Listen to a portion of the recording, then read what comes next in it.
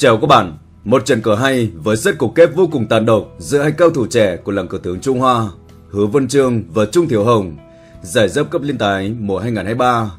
Đây đã là ván cờ nhanh khi họ sớm thắng bại bất phân ở cờ tiêu chuẩn. Ở trong cuộc này, đổi lại Hứa cầm đỏ, mã 8 tấn 7, Trung Thiểu Hồng tiến binh 7 ngay, Hứa lập tức đưa về chốt để phá cuộc. Giờ Trung Thiểu Hồng tượng 7 đã tiến 5, Hứa Vân Trương nhảy mắc còn lại ra biên ải, hàng ngũ chỉnh tề, đơn để mã trần. Trung Tiểu Hồng mã tầm tấn bảy Để làm gì đối diện với chuyện, Hứa Văn Trương tới đây đưa C172 lộ diện truy đuổi. Trung Tiểu Hồng bệnh C đường 8 giữ căn, rồi hứa lấy pháo còn lại tạt biên tam bộ hồ, chuẩn bị có thể khai thông chủ lực ở cánh bên kia. Trung Tiểu Hồng mã 2 đã tiến một Hứa Văn Trương lấy C78 thì Trung Tiểu Hồng lấy C1 bệnh 2 để giữ căn trước. Hứa tiếp tục lại bổ hữu tưởng, đơn để mã nhưng phi nghịch tưởng. Tới đây Trung Tiểu Hồng tiến pháo của Hà nhằm phong tỏa, hứa ngay lập tức dùng C8 thăng gấp cửa Hà. Còn nếu như chẳng tất rằng Trung chỉ cần tiến pháo còn lại qua, thành thử lưỡng pháo của Hà và những gì còn lại hứa là rất khó để triển khai. Cả hai cánh trái phải đều đã bị đè nặng sức ép. Còn tới đây Trung Tiểu Hồng pháo 273 để kích đổi. Nếu như đổi, hứa cũng bất lợi. Khi mà thấy tam tử này, hứa vẫn rất khó để ra trận. Cho nên đành phải lấy xe thoát vào mặt sườn. Trung Tiểu Hồng bất ngờ C2 đã tấn 1. Tức là gì? Tìm cách điều chuyển sang cánh bên kia. Nhưng sau khi Hứa Vân Trương dùng chút ban để tiến 1 công bá 7 thì Trung lại thay đổi về quyết định của mình, lại dùng C2 tiến thẳng ba nước. Nước cờ này của Hứa Trung thật là khó hiểu, chẳng khác nào đã tự mình nhượng hẳn cho đối phương vài tiên cờ. Tiếp tục hứa dùng binh 7 để tấn 1. Trung lại bất ngờ bổ sĩ trước. Tại vì sao lại như vậy? Hứa Vân Trương cũng chớp cơ hội rất nhanh, dốc chốt biên của mình. Có lẽ rằng Trung Tiểu Hồng đã để qua một cơ hội tốt, thà rằng cứ để sĩ vậy, dùng binh biên để tiến một, mở đường, mã đường một sâu này có thể khai thông ngay. Còn tới đây, lựa chọn của Trung lại dùng binh biên để tiến một kiềm chế mã còn lại. Và Hứa Vân Trương đã bổ di. Trung một lần nữa đã gây bất ngờ bằng một đòn cờ tiếp tục là tiến binh biên ở mặt bên kia. Nhưng việc này không phải là dùng chốt biên tiến một Hứa Vân Trương tạo cơ hội cho Hỏi Trung có thể kích đổi để đưa mã này xuống trần, mà lại nhẹ nhàng dùng pháo để chém chốt ngay. Thành thử, đường cờ của Trung vẫn như sững cả lại, không thể nào để giải thoát nổi. Tiếp tục là dùng pháo 8 tiến thẳng hai nước, cũng chẳng hiểu để làm gì. Tới đây Hứa Vân Trương dùng chốt 3 để tấn một Rồi Trung Thiểu Hồng lại lấy xe này chém thẳng vào chốt ngay. Đường cờ của họ Trung xem ra cứ bị động hoàn toàn, đi theo những dùng ý sắp đặt sẵn của đối phương, toàn là những nước chờ cả. Tới đây tiếp tục Hứa Vân Trương xây pháo này tiêu đổi. Trung Thiểu Hồng dùng pháo vượt qua, rồi lại tức khắc mở chốt biên của mình. Cũng là một nước cờ cần phải đi vội, còn nếu như chẳng, Trung vẫn còn phương án đánh trả, C7 tiến thẳng ba nước, gây khó khăn vào quân ngựa đường biên. Tới đây Trung tiểu Hồng lại dùng pháo 8 thoái một và Hứa Vân Trương dùng pháo này tiêu diệt nốt. Trung tới đây đưa C7 bình đường 8 ngay, ngăn cản cho một đòn cờ có thể lấy xe này tạt sang kích đổi, gây khó khăn vào pháo 8 của đối phương. Nhưng Hứa Vân Trương cũng chẳng vì vậy mà tỏ ra nóng vội, dùng bão 7 tiền 8 ngay. Trung Thiểu Hồng lấy pháo tạt ra cánh biên, rồi hứa lấy C6 bảnh 3 chờ đợi, và Trung lấy C8 bảnh 2 để truy đuổi. Đương nhiên rằng nước tiến trước mặt, ép buộc Hứa Vân Trương sẽ phải quay ngửa về, nhưng về phía của Trung không làm được gì, lại lựa chọn lấy xe này điều vào chân sườn. Và mã của Hứa Vân Trương cứ thuận lợi mà phóng lên thôi. Trung lại tiếp tục xe 8 tiến thẳng ba nước, hoàn toàn là những nước cờ nguội mang ý nghĩa của sự chờ đợi. Còn Hứa Vân Trương lấy xe 3 bình 4 ngay. Tiếp tục là gì? Mã 6 tiền 4 chắc chắn là một đòn cờ chí mạng. Khi cả hai xe của Trung đều rơi vào hiểm cảnh, bắt buộc là xe 8 phải tiến một. Mã này chém tưởng cũng là một đòn cờ đầy uy lực, cho nên buộc phải lấy xe 8 rút chạy. Quyết định cuối cùng, xe quay về hai nước. Nhưng thực ra tất cả những phương án này đều giống nhau cả. Hứa Vân Trường mã 6 tiến 4 ngay, pháo này đang còn truy đuổi, cho nên Trung buộc phải lấy xe của mình rút chạy, quản lý trung binh. Nhưng vô nghĩa, Hứa Vân Trường tung đòn quyết định C4 bệnh 2 để kích đổi. Không đổi thì mất pháo ngay, cho nên buộc phải chấp nhận. Vỏ mã của Hứa Vân Trương thuận lợi phóng lên. Đây vẫn là một đòn cờ cực hiểm, sau màn đổi xe thì pháo 8 của Trung lúc này gần như không còn cửa thoát. Chỉ còn một phương án duy nhất mà thôi, lấy pháo còn lại ra mà giữ mạng. Và Hứa Vân Trương đã trả lời, pháo cầm chiếu ngay. Nếu như lựa chọn dùng pháo 8 quay về thì không còn gì, tức là pháo phía trên sẽ phải tắc tử. Cho nên chỉ còn cách duy nhất tưởng năm thoái bảy và Hứa Vân Trương điều xe vào. Chắc chắn Trung sẽ phải vỡ trận, không thể nào cưỡng cầu. Tưởng 3 tiếng 5, mã này cũng chém thẳng tay. Cho nên buộc phải lấy tướng để rút chạy, hóa giải đường công trước. Hứa Vân Trương cứ vậy mà ra tay. Tướng thượng lầu tránh một đòn rút cơ bản hoặc là lấy xe này tiêu diệt võ sĩ cũng chưa biết chừng. Thấy vậy Hứa Vân Trương lại rời xe về đe dọa vào trung lộ. Trung Thiểu Hồng mã 1 tiến 2. Hứa Vân Trương lấy xe cản quét và hở trung mã 2 tiến 3 ngay. Cũng mặc kệ Hứa Vân Trương tỏ ra đầy quyết liệt. Xe 5 bình 7. Đơn xe sắt vạn tử gần như Trung Thiểu Hồng tới đây chẳng còn bất kỳ một cơ hội nào còn tiếp tục để cưỡng cầu mã 3 thoái một để chém chốt và Hứa Vân Trương lao xe chiều tướng ngay. Tướng buộc phải thượng lầu tiếp tục là phó một đã ra tay để truy sát. Tới lúc này thì mọi chuyện gần như đang ngã ngũ, không thể nào chung tiếp tục để cầm cử. Một vài lựa chọn có thể xem xét, hoặc là bùng sĩ nảy lên e rằng không ổn. Khi tiếp tục hứa vân trương mã 2 tiến 3, phục dân nước hiểm, mã bà quay về trung lộ, chiều tướng, vừa rớt cục vừa bắt luôn cả xe. Cho nên cũng chỉ còn lựa chọn C4 quay về hai nước phòng thủ. Mã nhảy lộ còn lại, sĩ buộc phải gác lên, rồi pháo 8 mất mạng. Không như vậy, đánh kiểu gì cũng bị một đòn cờ chí mạng, mã hai thoái 4 thành ra đòn lưỡng rất kịch độc. Còn phương án thứ hai là dùng pháo 8 này rút đi, thối một để có thể bắt lại xe chẳng hạn. Đơn giản hơn rất nhiều, hứa vân trương, mã 4 Vân tiến 3. Cho dù có lựa chọn nào đi nữa, hoặc là bùng sĩ lên, hoặc là tiếp tục gác tường, thì câu chuyện vẫn vậy. Hứa vân trương dùng mã này chém sĩ đáy ngay. Giờ tiếp tục là dùng xe quay về một nước để sát cổ, không thể nào có cơ hội để Trung có thể xoay trở. Bởi vậy, đó cũng là lý do chính thức. Sau lựa chọn này, Trung Tiểu Hồng chọn phương án còn lại. Tưởng 3 tiến 5, còn nước, còn tát. Và hứa Vân Trương, mã 2 vẫn tấn 3 ngay. Vẫn vậy, tức là mã 3 thoái 5 hoàn toàn sát cổ Cho nên Trung Tiểu Hồng dùng C4 quay về hai nước, gấp gáp mà phòng thủ. Kẻ giá lúc này chính là Trung Tưởng cũng mất mạng, bắt luôn cả xe. Xe kê vào trung lộ thì mã 5 thoái 3 rút chết và xe này cũng phải tác tử, cũng là sát cổ, cho nên buộc phải lấy C4 rút chạy càng xa càng tốt. Và Hứa Vân Trương lại dùng mã để hồi về. Nếu như lựa chọn, sĩ bung lên, Hứa Vân Trương cũng dư sức để kết liễu được, mã 4 tiến 6 ngay. Không phải là một đòn truy bắt xe thông thường, tại vì Trung Tiểu Hồng vẫn còn cơ hội lấy xe này tiêu diệt vào mã. Cách còn lại, mã này chém sĩ để phục sát, tức là C7 thoái 1, bắt buộc là tướng phải vào. Mã 4 thoái 3, và đánh kiểu gì phò 8 này cũng buộc phải rút chạy. Mã sẽ tiến 2 lập công đầu. Bởi vậy, tới như hình cờ này, quyết định cuối cùng của Trung Tiểu Hồng là phò 8 thoái 1 và Hứa Vân Trương ra tay kích liễu ngay, mã 6 tiến 4. Trung đành phải cởi giáp để quy hàng.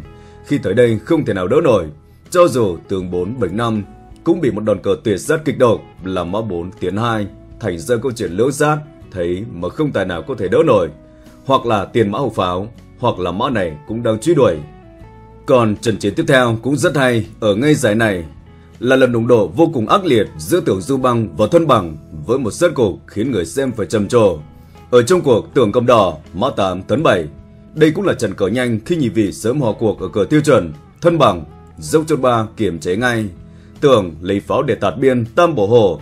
Thân bằng, mã 2 tiến 3 ra trận. Tưởng đưa sư bình 8 thân bằng cũng theo xe ngay.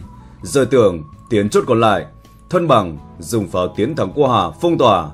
Tưởng hàng ngũ chỉnh tề, bình phong mã cuộc, và thân bằng pháo tám bình bảy.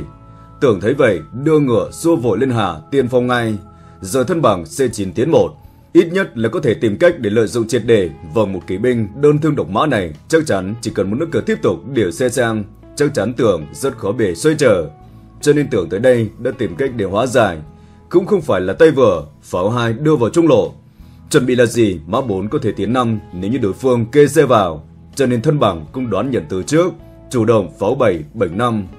Cuộc cờ vì vậy mà trở nên rất khốc liệt, từ chỗ không đầu pháo trận nhưng tới đây đã chuyển hóa tất cả, thành ra thuận pháo cuộc. Tới đây tưởng du băng sĩ 6 đã tiến 5, rồi thân bằng mã 8 tấn 7, tưởng đưa C172 xuất quân chủ lực còn lại, thân bằng lấy xe kê sườn truy đuổi Mã này của tưởng cũng chỉ còn đúng một lộ là phải đạp lấy chốt ba. Nhưng thân bằng rất đơn giản, xe 6 tiến thẳng hai nước để truy đuổi. Mã quay về tất xe thất tiền, bởi vậy tưởng Du Băng đưa chốt qua hà. Nhưng cũng bởi vì vậy mà xuất hiện ra một điểm rất khó chơi, lúc này thân bằng chỉ cần lấy pháo quay về hai nước. Thành thử, binh ba kiểu gì cũng bị đánh tử. Và chắc hẳn quân bảo vệ này không còn, mã ba chẳng biết phóng về nơi nào cả. Lựa chọn của tưởng gấp gáp, pháo 573 tìm cách để hỗ trợ. Bởi vậy, kể từ khúc này, xem như vai trò giữa công và thổ, tiền lẫn hậu tạm thời sẽ bị hoán đổi. Thế tiên của tưởng đã không còn. Tới đây, thân bằng không phải là xích pháo ra tay vội vàng, mà lại dùng pháo năm để thoái một. Nước cờ này thật sự thân bằng đâm còn toan tính gì. Rất sâu xa, đoạn sau thì chúng ta mới có thể trả lời. Tưởng Dung Băng tượng 7 đã tiến năm ngay. Thân bằng mới quyết định dùng pháo này tiêu diệt. Rồi tưởng dùng C8 để thông đổi, mã bao của thân bằng quay đầu về. Tiếp tục dùng pháo để chém lấy chốt biên, nhân tiện truy đuổi xe. Thân bằng binh năm tiến một để đánh trả. Tưởng lại dùng pháo quay về, đe vào binh ở giữa trung lộ, thì thân bằng tưởng ba đã tiến năm để giữ lại. Tới như khúc này, thì chúng ta mới có thể thấy được rõ ràng về dùng ý thật sự rất sâu sắc của thân bằng, pháo oa tâm đã phát huy được tác dụng. Thế công của tưởng sau khi mã và pháo đang bị giam cầm gần như không thể nào để triển khai được, tưởng đã lựa chọn dùng xe lao qua hà để áp cửu.